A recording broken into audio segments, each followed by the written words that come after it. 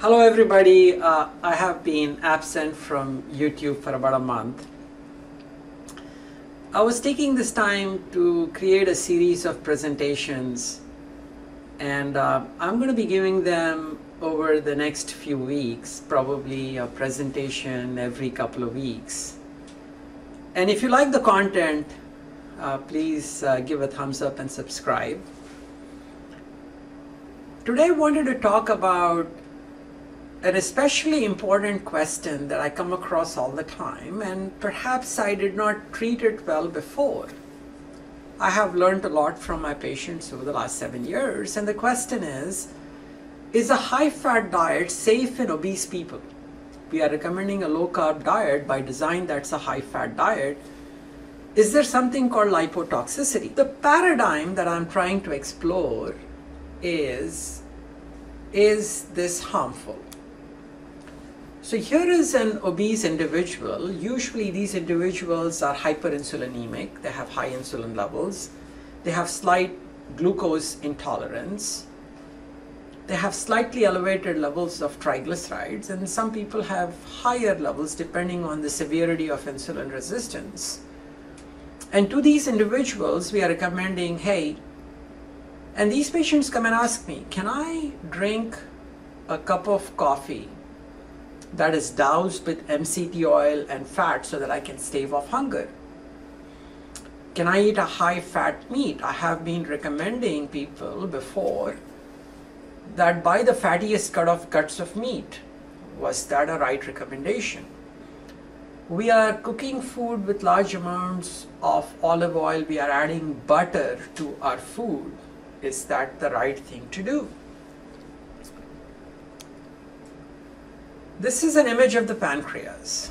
Out here on the right is a normal pancreas that has insulin producing beta cells in red and glucagon producing alpha cells in green.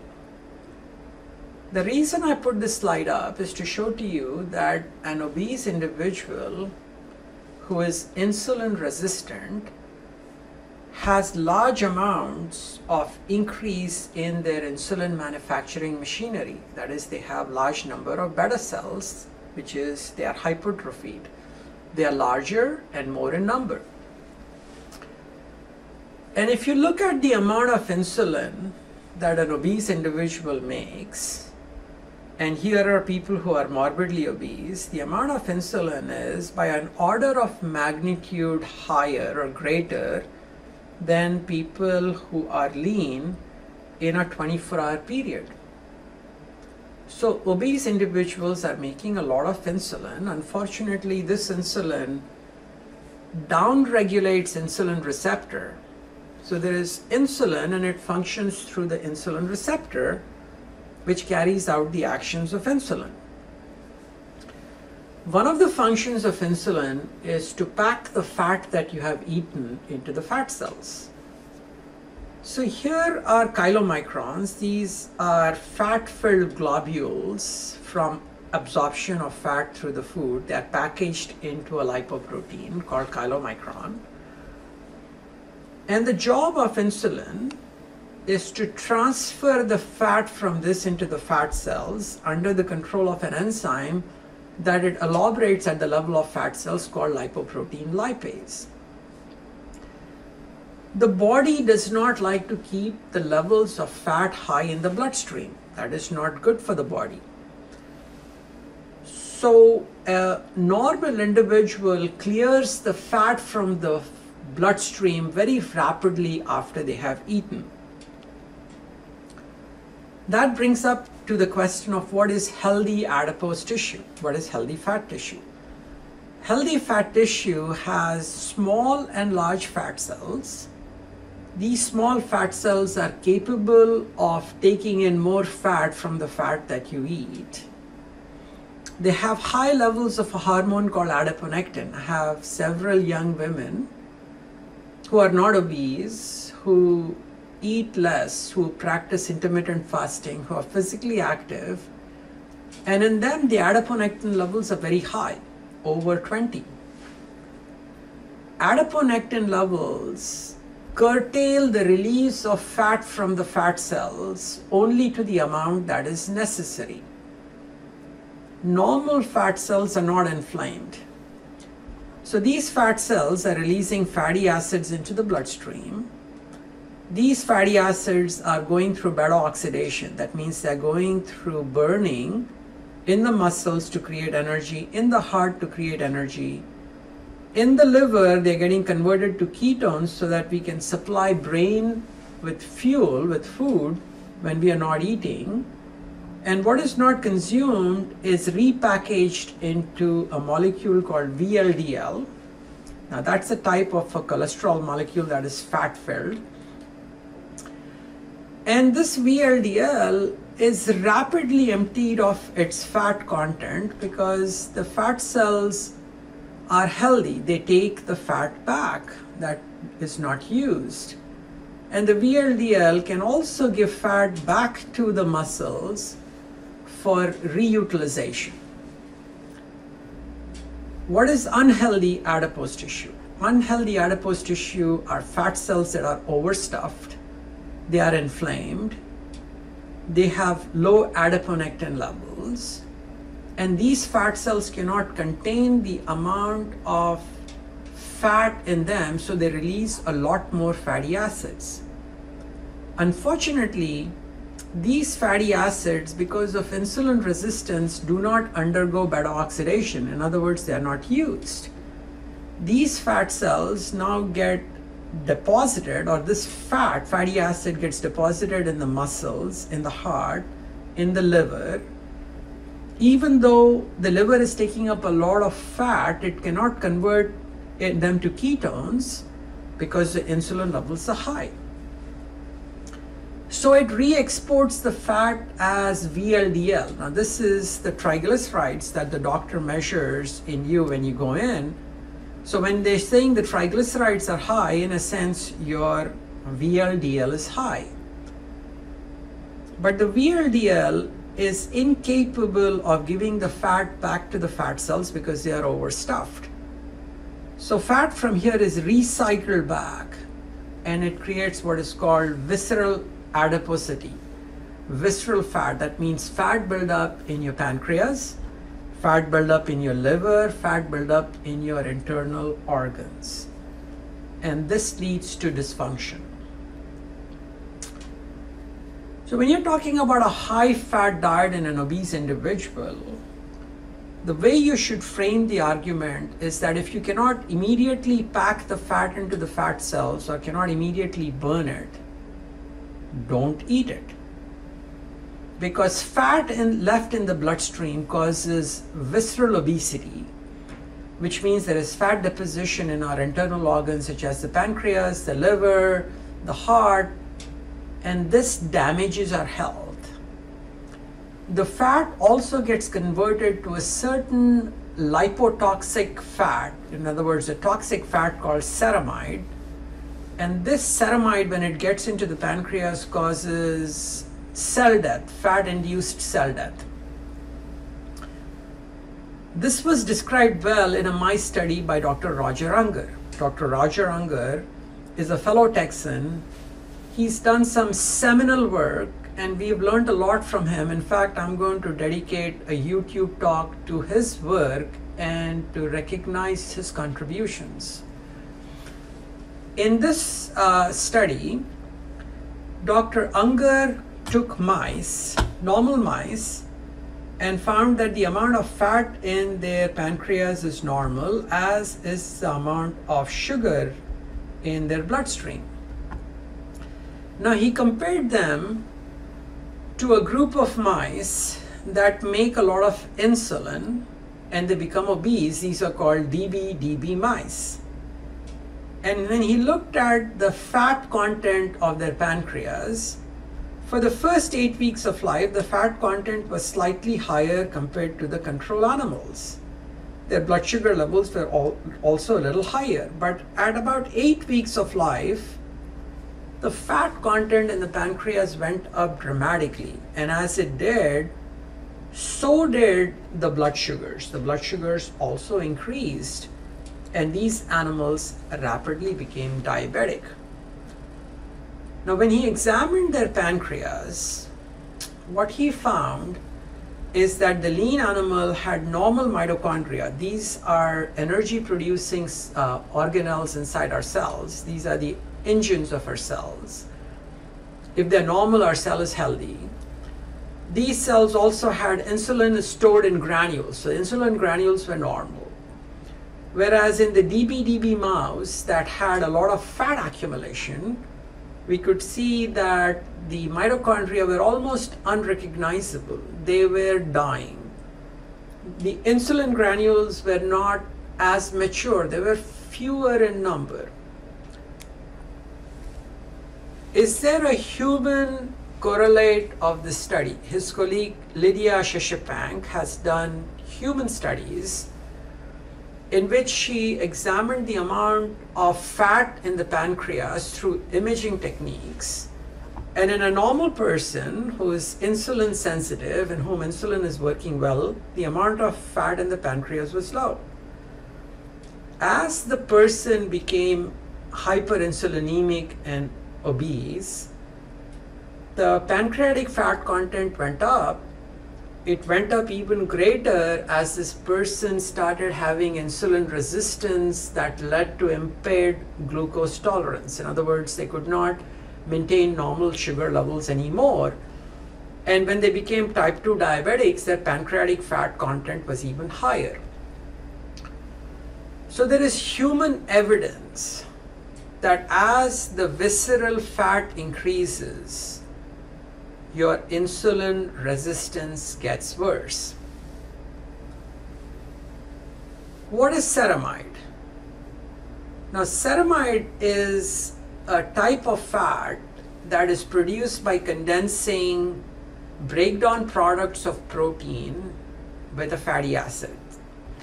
So, fat cells are releasing this fatty acid. Serine is a breakdown product of protein and the fatty acids, when they are inflamed, overstuffed, and when they have low adiponectin levels, they elaborate a certain hormone called SPT, serine palmitoyl transferase.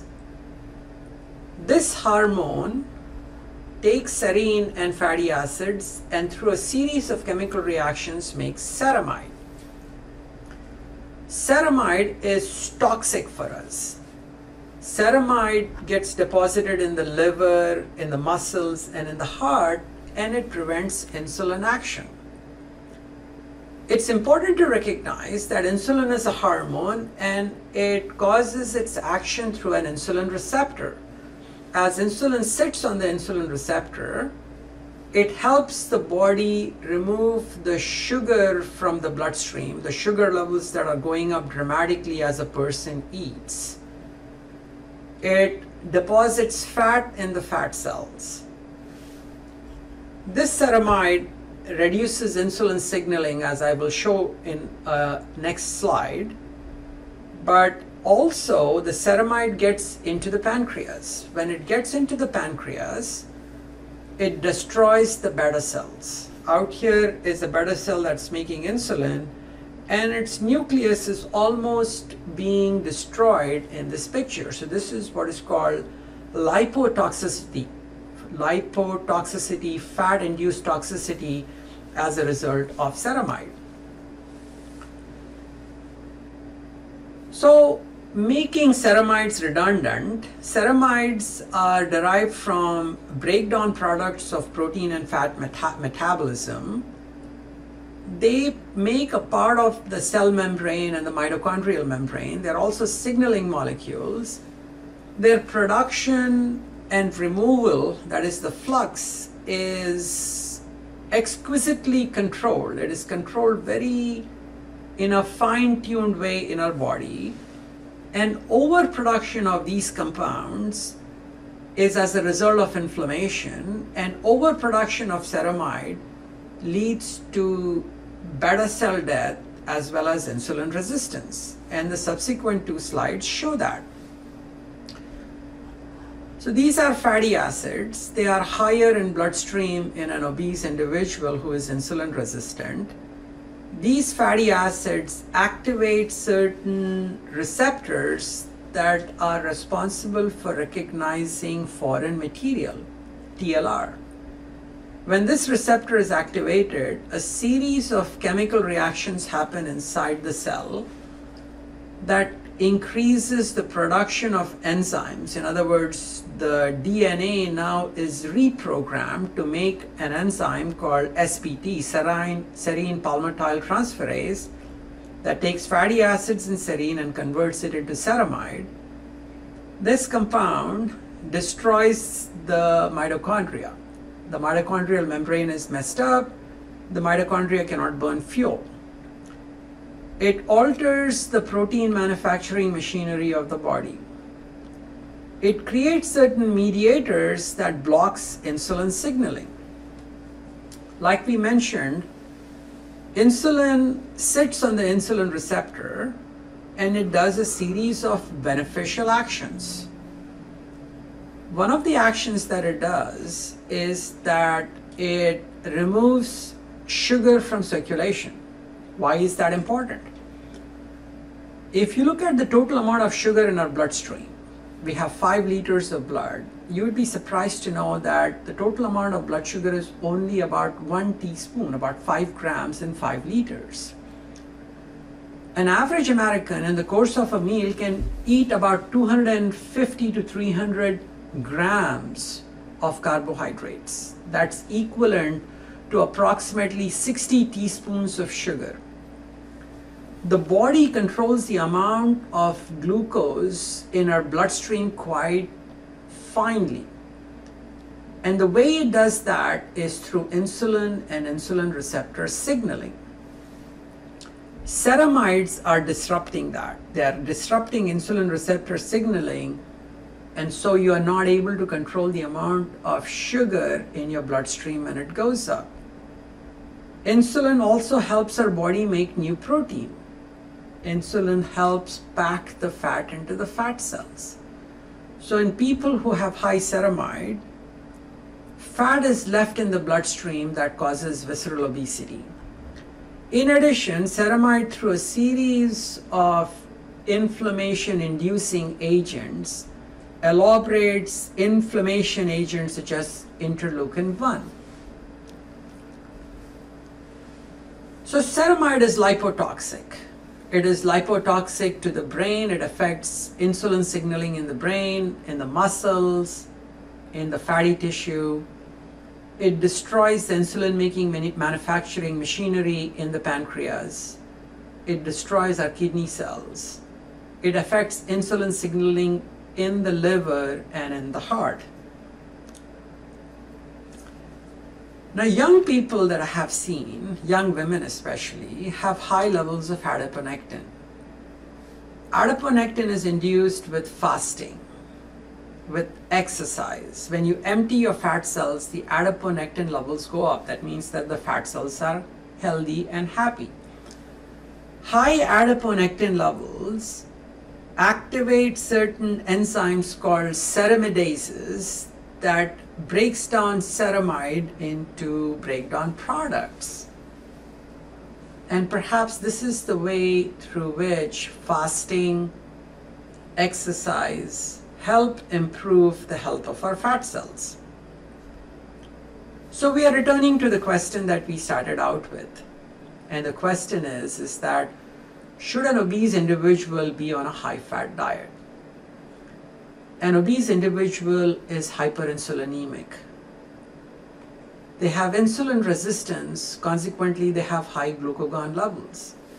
The interaction between insulin and glucagon is going to be the subject of another talk that is going to come up. They have elevated levels of sugar, they have high triglycerides as VLDL, they have high fatty acids they have low adiponectin levels. They have high levels of CRP and marker of inflammation. Can I recommend to these people to have bulletproof coffee that is doused with MCT and butter, to make food with large amounts of olive oil, and to eat fatty meat? The answer to that should be no. The answer to that should be no. So, how would you treat them? The way you would treat them is that you give them techniques to empty their fat cells, to improve satiety, to reduce inflammation, to improve their cholesterol quality. I have several talks on cholesterol and cholesterol quality and statins. To make insulin work better, so in other words, reduce insulin resistance.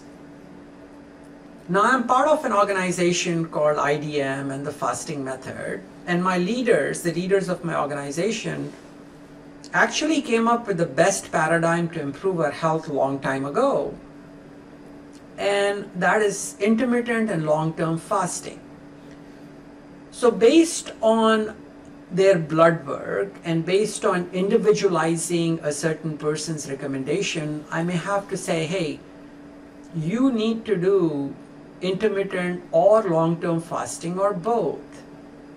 I have to train them on how to improve their satiety. In other words, teach them techniques of improving satiety. I also have to teach them how caffeine and exercise can be used in a fasted state. And that's the subject of another YouTube video that I'm going to come out with. So that insulin levels are reduced and insulin signaling is improved. So I thought these short videos are better and more useful. And I can take a small area of the low carb field and dissect it so that it is palatable and it brings it down to the level of the consumer. Thank you.